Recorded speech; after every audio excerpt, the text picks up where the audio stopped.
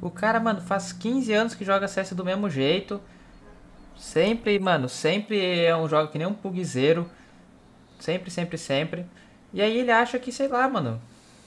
Não, tipo assim, a visão da galera é que, nossa, os caras falam mal dele porque ele amassa todo mundo, porque ele é muito bom. Tá ligado? Hum, Mano, é simples. Se um cara é muito bom, ele é chamado pros times muito bons. É, é apenas a verdade. Diversidade relevante? Tá, mas eu não fico, eu não fico me vitimizando por aí falando que eu não sou chamado pra time porque nego me odeia. Falando que eu tomo ban porque nego me odeia. Eu não faço isso.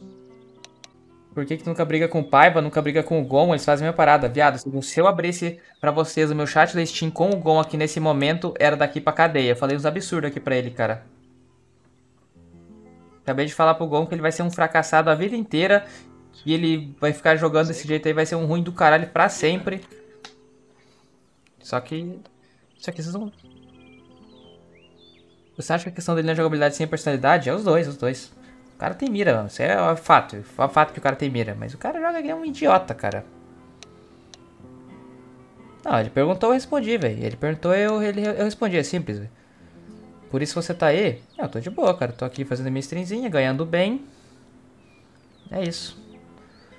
A hora que eu quiser voltar a jogar em time, eu vou lá, vou lá, vou postar no Twitter. Galera, estou em busca de um time aí pra próxima temporada. E vamos chamar pra um Voltei. time da hora, pelo menos, tá ligado? Um time que o amigão aí não vai ser Bora. chamado. Simples. Aí tu Vai, pode vai. hatear quanto quiser.